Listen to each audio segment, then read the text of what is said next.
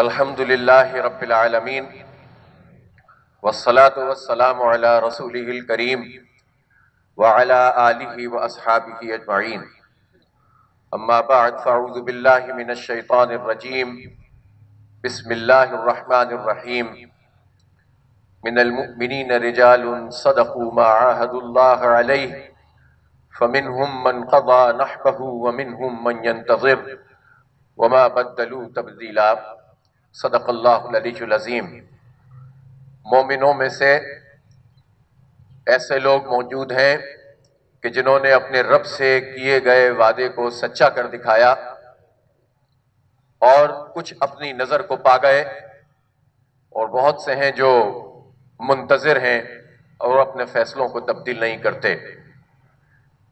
मेरे बहुत ही काबिल एहतराम कायदीन कराम मुख्तलिफ़ सियासी जमातों से ताल्लुक़ रखने वाले मुख्तलिफ़ ऑर्गेनाइजेशन और सिविल सोसाइटी से ताल्लुक़ रखने वाले मेरे भाइयों और अहल कराची, आज पूरी उम्मत मुस्लिमा के लिए, बल्कि हर बाज़मीर इंसान के लिए एक सदमे का वक्त है कि ऐसी शख्सियत कि जिसने अपनी पूरी ज़िंदगी हक और इंसाफ के लिए गुजार दी और मुजाहमत की अलामत बना जहद मुसलसल और मुसलसल हक के रास्ते में पेशकदमी करना और एक इंच भी अपने मौकफ से दस्तबरदार ना होना यह सैयद अली गिलानी का खासा था।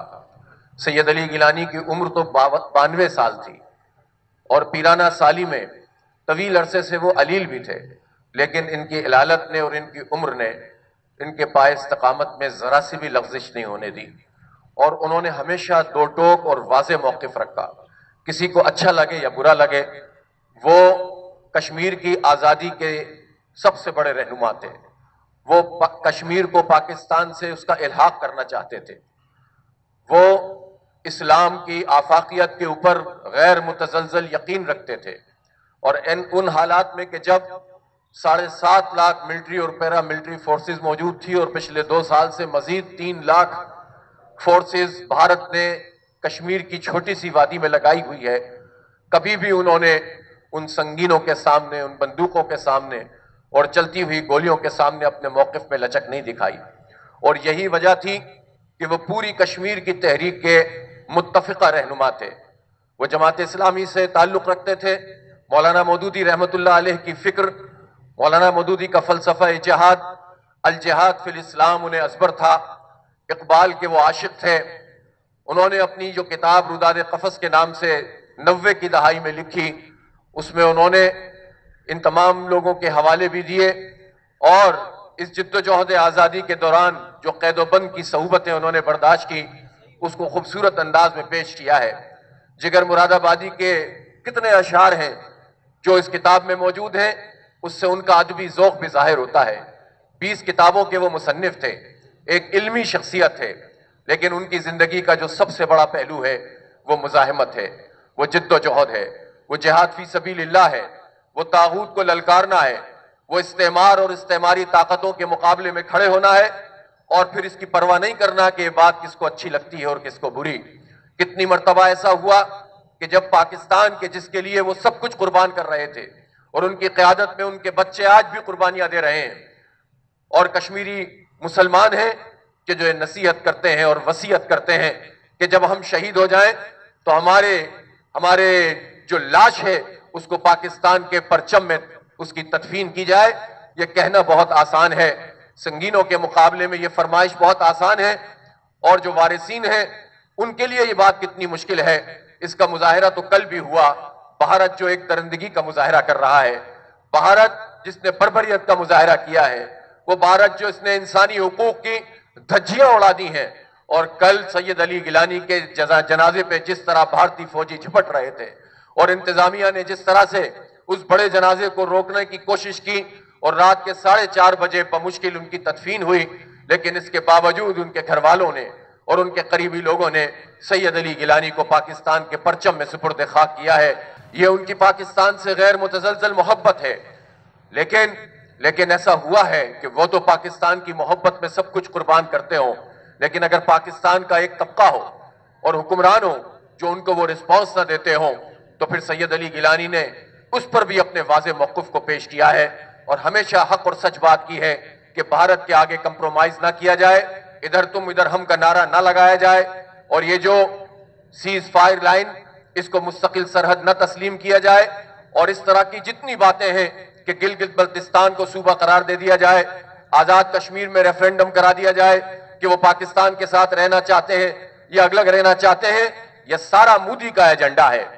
ये उनका एजेंडा है, जो इधर का कश्मीर इधर और उधर का कश्मीर उधर करके मकबूजा कश्मीर की एक लाख से जायद कुर्बानियों को, उनको पामाल करने की कोशिश कर रहे हैं। इसलिए सैयद अली गिलानी इस लिहाज से भी बहुत वाजे और दो टोक मौकफ रखते थे कि आज़ादी, पाकिस्तान और हक खुद इरादियत, ये उनके तीन स्लोगन थे कि हम हर सूरत में भारत से आज़ादी चाहते हैं, पाकिस्तान से मोहब्बत करते हैं और पाकिस्तान से जो मोहब्बत, वो जो उनका तारीखी नारा है कि हम पाकिस्तानी हैं, पाकिस्तान हमारा है तो उससे पहले जो कुछ उन्होंने कहा कि इस्लाम से ताल्लुक और इस्लाम की मोहब्बत में सारे सेकुलरिज्म की उन्होंने नफी की, सारी कौमियतों की उन्होंने नफी की, तमाम इज्म को उन्होंने एक तरफ़ किया और फिर कहा कि पाकिस्तान से हमारा ताल्लुक ला मोहम्मद रसूलुल्लाह का ताल्लुक है और इस ताल्लुक से हम पाकिस्तानी हैं। और पाकिस्तान हमारा है, और इस नारे ने मकबूजा कश्मीर के मुसलमानों में एक आग लगा दी और आज़ादी का जज्बा पैदा किया। कितनी मरतबा ऐसा हुआ कि इस तहरीक को खत्म करने की कोशिश की गई, लेकिन मर्ज पड़ता गया। जू जू दवा की, जितना इस तहरीक को कुचलने की कोशिश की जाती है, उतना ही ये उभरती है। और हमने देखा कि जब माजी में लोगों ने कहना शुरू कर दिया था कि अब मकबूजा कश्मीर में कोई तहरीक वहरीक मौजूद नहीं है तो सियासी मैदान में भी तहरीक चली और अस्करी मैदान में भी तहरीक चली और बुरहान मुजफ्फर वानी जैसा नौजवान सामने आकर खड़ा हो गया जिसने सोशल मीडिया नेटवर्किंग के ज़रिए भारतीय साम्राज्य का मुकाबला किया। लोग कहते हैं और इस पर शर्मसार होते हैं। बाज लोगों को जिहाद के लफ्ज से कोई परेशानी होने लगती है। कभी एफ़ के हवाले होते हैं कभी अमेरिका की ताकत से डराया जाता है कभी कहा जाता है कि खत्ते में हम अमन कायम करना चाहते हैं। हम ऐसे सारे लोगों से कहना चाहते हैं कि, कि ये जो अस्करी जिद्दोजहद मकबूजा कश्मीर में है, ये तो अकवाम मुतहदा के जो चार्टर है ह्यूमन राइट्स का, उसके भी मुताबिक है। और आर्टिकल 51 में अगर ये दर्ज है कि अगर कोई फौज किसी खत्ते के ऊपर कब्जा कर ले तो उसके मुकाबले पर असला उठाकर जिद्दोजहद करना अकवाम मुतहदा का, यूएनओ का चार्टर उसको अलाउ करता है तो फिर हमें क्या परेशानी है? और ये जहाद फ़ी सबील्लाह ये तो हमारे माथे का झूमर है। इसलिए हम ऐसे सारे लोगों को, जो जो कि इस्लाम के इन बुनियादी चीज़ों से खौफ खाते हैं, उन्हें गैरों का खौफ होता है, उनको ये बता देना चाहते हैं कि दुनिया तब्दील हो रही है और दुनिया भर में वो ताकतें और कुतें जो अपनी टेक्नोलॉजी, अपने डेजिकटर्स, अपने हाइड्रोजन और एटम बम और अपनी 40 मुल्कों की फौजों के साथ खितों के खुतों को यरगमाल बना रहे थे और तोरा बोरा सब चीज़ों को बना देते हमने देखा है कि परसों एक आखिरी फौजी भी अफ़गानिस्तान से रुखसत हो गया और वो जो फतह करने आए थे, हजीमत उठाकर, नाक रगड़कर यहाँ से भागने पर मजबूर हुए हैं। ये टेक्नोलॉजी पर ईमान की फतह है। हमने पिछले दिनों में देखा कि इसराइल की ताकत के मुकाबले में हमास की इतनी सी ताकत थी, लेकिन उसके रॉकेटों से जब उन्होंने मुकाबला किया तो उनका सिस्टम फेल हो गया। ये अल्लाह की तरफ़ से है कि अबाबीलों से हाथों के हाथियों का लश्कर वो तबाह करता है। इस सदी में, तरक्की याफ्ता सदी में, साइंस और टेक्नोलॉजी की इस सदी में हम अपनी आँखों से इन बड़ी बड़ी ताकतों को जहर होते देख रहे हैं। इसलिए कश्मीर कश्मीर के हवाले से भी हम ये बात बिल्कुल वाजे करना चाहते हैं। और सैयद अली गिलानी भी वाजे मौकफ रखते थे कि हम सर फोड़ने के कायल नहीं है। अगर कोई मुजाकरात के नतीजे में कश्मीर को आज़ादी दे दे और अकवाम मुतहदा की करारदाद पर अमल करा दे तो फिर लड़ने की क्या ज़रूरत है? लेकिन तिहत्तर साल हो गए हैं। इन तिहत्तर साल में भारत एक इंच भी पीछे नहीं हटा है। अकवाम मुतहदा की करारदादें मौजूद हैं। ये करारदाद अगर ईस्टर्न तैमूर की हो, फ़ौरन अमल हो जाता है। जुनूबी सूडान की हो, फ़ौरन अमल हो जाता है। लेकिन ये करारदाद अगर कश्मीर की हो, फलस्तीन की हो, जिसका ताल्लुक मुसलमानों से है तो अकवाम मुतहदा अपना कोई रोल अदा नहीं करता। और हमने देखा है कि सिर्फ़ वही करारदादे नहीं है पच्चीस तीस करारदादे उसके बाद भी पास हो चुकी हैं, लेकिन अमल नहीं किया जा रहा। फिर क्या किया जाए? फिर उनके रहमो करम पर अपनी औरतों को, अपने बच्चों को छोड़ दिया जाए कि वो जिस तरह चाहे दरिंदगी का मुजाहरा करें, माओ बहनों की इसमतों को पामाल करें, हमारे बच्चों को कत्ल करें पैलेट गनों से फायरिंग करें, हमारे नौजवानों को नाबीना कर दें और हम कहें कि हम स्ट्रेटेजी बना रहे हैं, हम मुजाकरात के ख्वाह हैं, हम ऐसे किसी मुजाकरात को नहीं मानते जो हमारी गैरत बेच कर किए जाएँ, जो हमारी हमीयत का सौदा करके किया जाए, जो हमारे ईमान को फरोख करके किए जाएँ। इसलिए तारीख का तो यह भी सबक है कि कश्मीर, जो आज हमें आज़ाद कश्मीर और गिलगित बल्तिस्तान नज़र आता है यह भी जिहाद फ़ी सबीलिल्लाह से आज़ाद हुआ था। सन अड़तालीस में कबायलियों ने जिहाद किया था, सबक फौजियों ने जिहाद किया था। अवाम वहाँ पर पहुँचे थे और श्रीनगर के दरवाजे तक पहुँच गए थे। साजिशें करके उनके कदम रोक दिए गए थे। दौड़े दौड़े नेहरू अकवा मुतहदा में पहुँचा था और इसके नतीजे में एक साजिश की गई और मामला जू का तू करार दे दिया गया और फिर यह हुआ कि प्लेबिसाइड करवाया जाएगा। मेरे भाइयों, ये एक अटल हकीकत है कि आधा कश्मीर भी लड़के लिया है, पूरा कश्मीर भी लड़के ही रहना पड़ेगा। और इसमें पाकिस्तान की हुकूमत के लिए भी, रियासती इदारों के लिए भी, पाकिस्तान की आवाम के लिए भी एक वाज मैसेज है कि हम हम हालात का रुख देख लें, जो जिहाद के रास्ते में और जिहाद फ़ी सबीलिल्लाह का मतलब यह है कि अगर मुसलमानों का माशरा होगा तो मुसलमानों के माशरे में जुल्म के निज़ाम को खत्म करने के लिए, जागीरदारी और वडेरा शाही और कब्जा सिस्टम को खत्म करने के लिए और जुल्म की जितनी अलामतें हैं, उसको मिटाकर अवामी ताइद हासिल करने के लिए जो दावती जिद्दोजहद की जाएगी, जो जहन साजी की जाएगी, जो नारे लगाए जाएँगे, जो दलील दी जाएगी, वो सब जिहाद फ़ी सबीलिल्लाह है। कि अल्लाह के रास्ते में हर मुमकिन कोशिश की जाए और जिहाद फ़ी सबीलिल्लाह का मैदान बातिल कुतों के मुकाबले में, बातिल फौजों के मुकाबले में किताल फ़ी सबीलिल्लाह हो तो वो किताल फ़ी सबीलिल्लाह, जिहाद फ़ी सबीलिल्लाह है। हम मुस्लिम माशरों में दावत के अमीन है, लोगों की जहन साजी और राय आमा के ज़रिए से तब्दीली लाना चाहते हैं। लेकिन फौजों का मुकाबला फौजों से होता है। रियासतों का मुकाबला रियासतों से होना चाहिए। और जब रियासतें अपना काम करना छोड़ देती हैं तो नॉन स्टेट एक्टर सामने आते हैं। फिर सबको तकलीफ़ होती है कि जिहाद जिहाद ये नॉन स्टेट एक्टर क्यों कर रहे हैं? स्टेट एक्टर्स को भी अपना काम करना होगा। अपने बजट को जस्टिफाई करना होगा। अपने तमतराक को सामने लाना होगा। और एक ही रास्ता है कि हम आगे बढ़ेंगे। पाँच अगस्त दो हज़ार उन्नीस से आज दो साल से जायद करसा हो गया है। लॉकडाउन की कैफियत है। वहाँ यह कैफियत है कि कारोबार तबाह हो चुके हैं, तालीम तबाह हो चुकी है। कितने कोरोना की वबा में लोगों को इलाज की सहूलतें कश्मीर के लोगों को नहीं मिली है। दुनिया खामोश है। ह्यूमन राइट्स वायलेशन उन्हें सिर्फ़ काबुल में नज़र आती है, उन्हें कराची में नज़र आती है, उन्हें सिंध के देहातों में नज़र आती है। ह्यूमन राइट्स वायलेशन जो श्रीनगर में है, उसका कौन रिस्पॉन्सिबल है? क्या वो इंसान नहीं है? क्या वो औरतें नहीं है जिनको कोई हक हासिल नहीं है कि वो आज़ादी के साथ अपना कोई काम कर सके? तो भारतीय साम्राज्य जो कुछ कर रहा है, उसका मुकाबला डिप्लोमेसी के मैदान में भी करना होगा और जिद्दोजहद और जिहाद के मैदान में भी करना होगा। इसलिए मकबूजा कश्मीर के अवाम अगर जिहाद फ़ी सबीलिल्लाह करते हैं तो भी लेजिटिमेट है। और अगर वो अपनी सियासी मुजाहिमत कर रहे हैं तो भी वो कानूनी है। और पाकिस्तान के शहरी होने की हैसियत से दीन का तकाजा भी यह है, इंसानियत का तकाजा भी यह है कि हम उनके दामे, दरमे, सुखने साथ खड़े हो। इसलिए अगर हुकूमत पाकिस्तान ने सैयद अली गिलानी की इस शहादत के मौके पर अपर परचम को सरनिगू किया है तो अच्छा किया है। अच्छे ट्वीट किए हैं खान साहब ने तो अच्छा किया है। लेकिन वज़ीर आज़म साहब, सदर मुमलिकत और आर्मी चीफ साहब, बात ट्वीट और ऐलानात और परचम को सरनिगू करने से अब कहीं आगे बढ़ चुकी है। आपको आगे बढ़ना होगा और जिद्दोजहद को तेज तर करना होगा।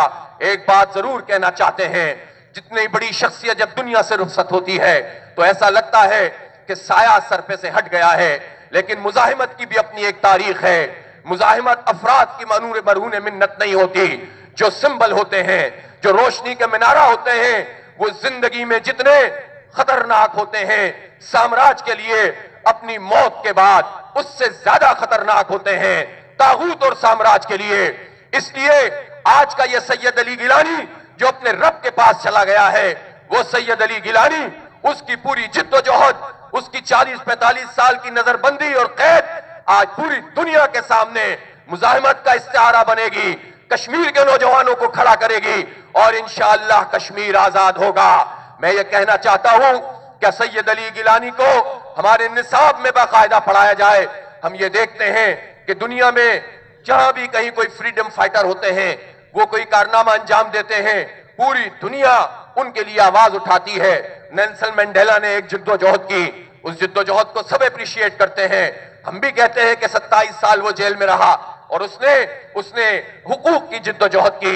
लेकिन नेल्सन मंडेला 27 साल, लेकिन ये सैयद अली गिलानी तो अपनी उम्र के 40 साल से जायद कैद और नजरबंदी में रहे कभी पाकिस्तान के स्कूल के बच्चों को यह बात बताई गई कि इतना बड़ा इतना बड़ा शख्स मकबूजा कश्मीर में रहता है, जो पाकिस्तान की पूरी कौम का खराज देता है और उसके कदमों में कोई लड़खड़ाहट नहीं आती है। इसलिए अपने बच्चों को समझाइए, इस जिद्दोजहद से हम किनार कीजिए। दो दिन की बात करके, बात को खत्म करने के बजाय कश्मीर की इस पूरी तहरीक को अपने नुकता उरूज पे ले जाकर हतमी अंजाम तक पहुंचाना। हम सब के ऊपर फ़र्ज़ है। आज सैयद अली गिलानी के लिए हम सब यहाँ पर आए हैं। मैं अपने एम क्यू एम के दोस्तों का, मैं पीपल्स पार्टी से ताल्लुक रखने वाले वर्कर्स का मुस्लिम लीग से पीएसपी से, जितने मैं कुछ लोगों को देख पा रहा हूँ, कुछ को नहीं देख पा रहा हूँ, और इन सब लोगों से और मजहबी जमातों और फलस्तीन फाउंडेशन का खास तौर पर मैं शुक्रगुजार हूँ कि वो सब लोग यहाँ पर मौजूद हैं और सैयद अली गिलानी हमारे मुतफ़ा कायद हैं। पाकिस्तान उनका हवाला है। इस्लाम उनका हवाला है, इंसानियत उनका हवाला है, मुजाहमत और आज़ादी उनका हवाला है। इसलिए आइए हम उनके लिए दुआ भी करें और उनकी गायबाना नमाज़ जनाजा भी अदा करें। वाखर दावाना अलहमदिल्ला रबालमीन अल्लाह अकबर।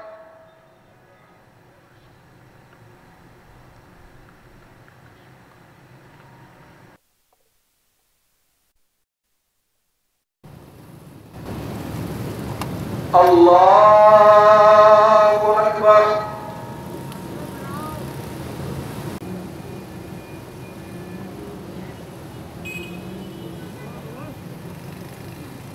अल्लाह अकबर